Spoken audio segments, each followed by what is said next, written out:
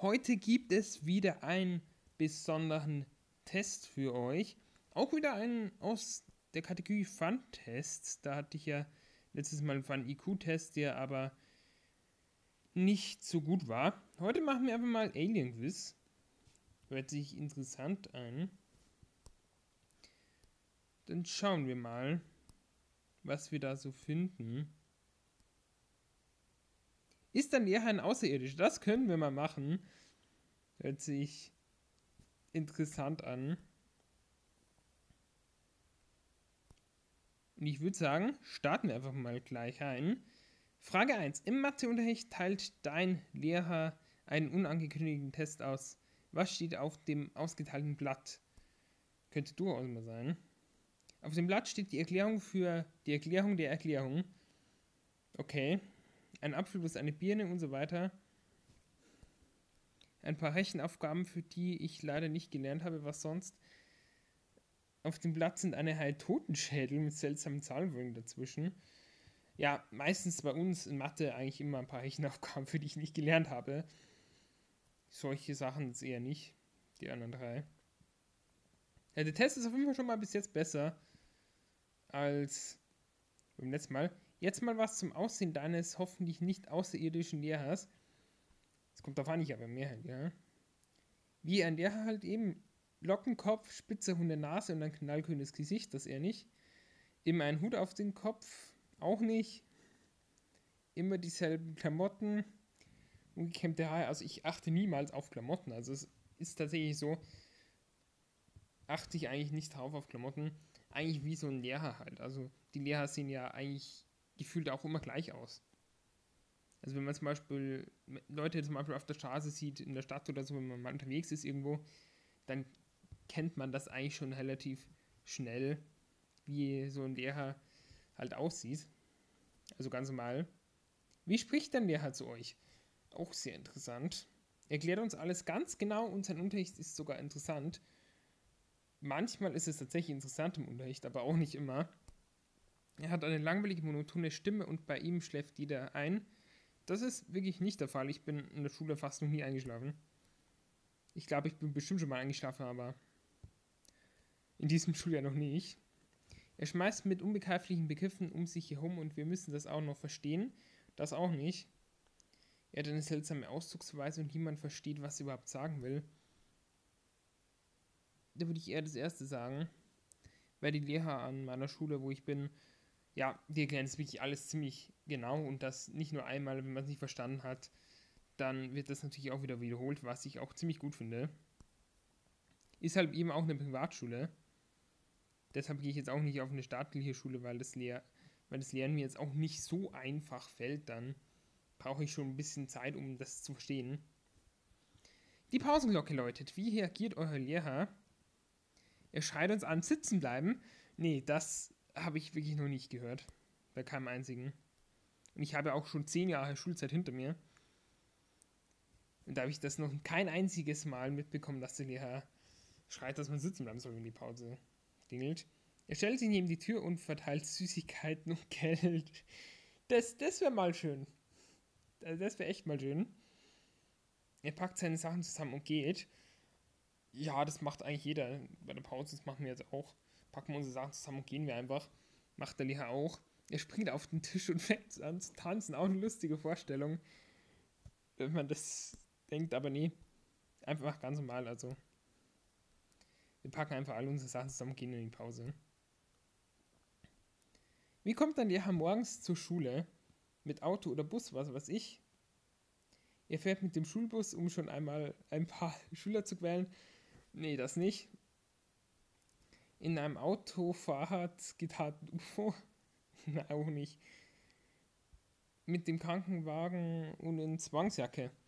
Das auch nicht. Also, ich würde sehr sagen, ich weiß es nicht genau. Mit Auto oder Bus oder Zug, keine Ahnung. Ist bei jedem Lehrer unterschiedlich. Bei uns. Wie betritt dann Lehrer den Klassenraum? Hier sogar ein schönes Bild von einem Klassenraum. Sieht bei uns in der Schule etwas anders aus, aber okay.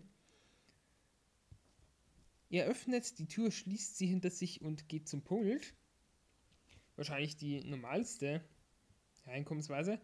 Er stampft durch die Tür und knallt sie hinter sich zu, dass jedes Mal die ganze Schule wackelt.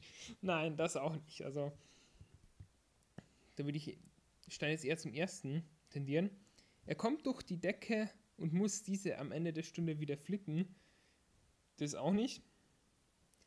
Weil durch die Decke kommen, das wäre dann vom Erdgeschoss runter. Weil mein Klassenzimmer befindet sich dieses Jahr im Keller. Also das ist echt. Welche, welche Schule hat schon Klassenzimmer im Keller? Da denke ich, sind wir auch, war auch eine Ausnahme. Na, im Keller. Unten ist, hat vielleicht den Vorteil, dass im Sommer es nicht so heiß unten ist. Aber heute war es auch schon ziemlich kalt in der Schule, also wirklich. Er steht plötzlich im Raum und grinst uns an. Das auch nicht, außer man hat natürlich nicht aufgepasst. Aber da würde ich auch hier wieder zum ersten tendieren, dass einfach die Lehrer in meiner Schule einfach auch alle ziemlich normal sind. Dass da keine irgendwie so, naja, komisch ist, wie das hier beschrieben ist. Der Lehrer erwischt dich beim Kaugummi kauen. Was tut er daraufhin? Also ich kau in der Schule definitiv keinen Kaugummi. Habe ich noch nie gemacht. Werde ich auch nie machen. Er schmeißt mich seinem Kaugummi in den Mülleimer. Oh, das wäre auch. Das wäre auch mal eine Idee, dass man das machen könnte. Aber nee, das macht bei uns keiner. Kaugummihaus, Verwarnung, Klassenbuch einen Tag. Naja, Klassenbuch einen Tag wahrscheinlich noch nicht, aber eine Verwarnung wird es auf jeden Fall da geben. Er fragt mich danach und bekommt auch einen, einen von mir geschenkt. Das wird auch kein Lehrer machen bei uns an der Schule. Er nimmt den Kaugummi entgegen und kaut ihn selbst weiter. Nee, dann würde ich eher sagen, wirklich Kaugummi-Haus. Klar, wenn man erwischt wird, muss man Kaugummi-Haus tun. Aber ein Klassenbucheintrag bekommt man dann noch nicht gleich. Also so streng läuft es bei uns eigentlich auch nicht ab. Dann, Frage 8. Wie sieht seine Schrift an der Tafel aus? Und das ist bei jedem Lehrer unterschiedlich muss man ganz klar sagen. Was für eine Tafel unser Lehrer diktiert uns nur, ist bei uns nicht so. Wir müssen öfter mal was abschreiben. Eine etwas unleserliche Schrift, ja, die Lehrer haben meistens etwas unleserliche Schriften, das stimmt schon. Da habe ich bei mir in der Schule auch ein paar Kandidaten, die da etwas unleserlich schreiben. Unser Lehrer malt uns alles auf an der Wand und danach isst er die Kreide auf. Nee, das auch nicht. Er lässt uns nicht schreiben, da er von zu viel Aufschreiben Kopfweh bekommt und unsere Sprache nicht so ganz beherrscht. Also ich würde eher sagen unleserliche Schrift, weil das andere trifft auch nicht so zu. Es trifft eigentlich gar nichts hier so richtig zu. Frage 9, schon die vorletzte Frage. Wie denkst du, bekommt dein Lehrer deine Noten von der Klassenarbeit heraus? Noten, er malt einen Smiley darunter oder er stopft die Arbeiten gleich in seinen Kamin. Boah, Smiley ist hier eigentlich auch falsch geschrieben, schreibt man so überhaupt nicht. Schreibt man Y hinten. Er schreibt überall eine 6 darunter, damit hat sich dann erledigt.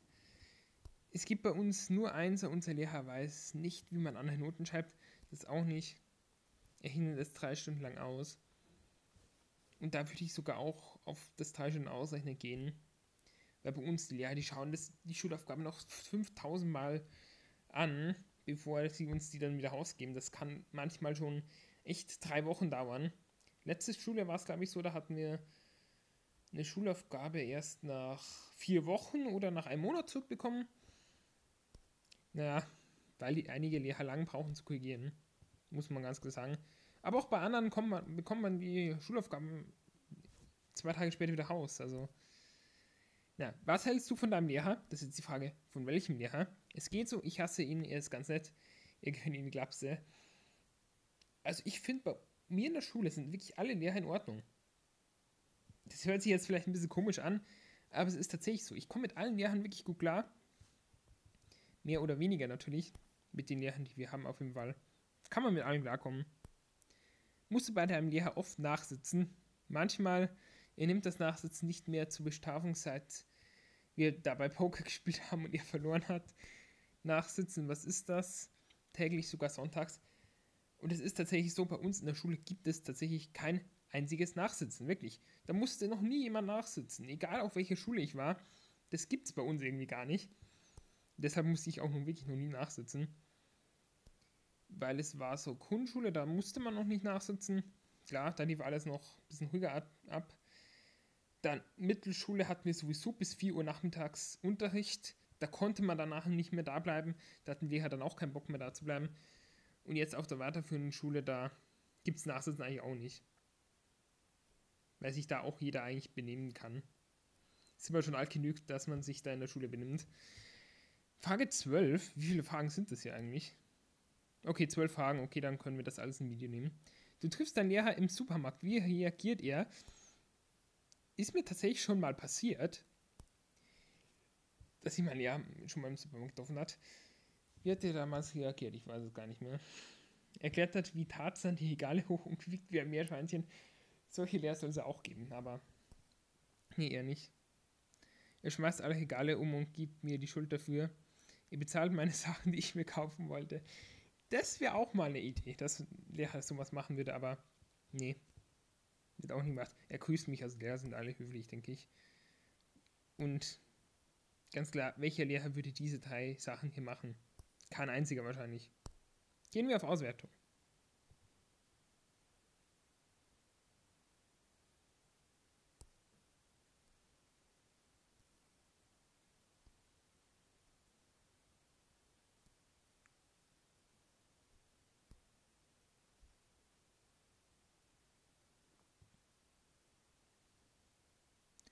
So, hier ist die Auswertung.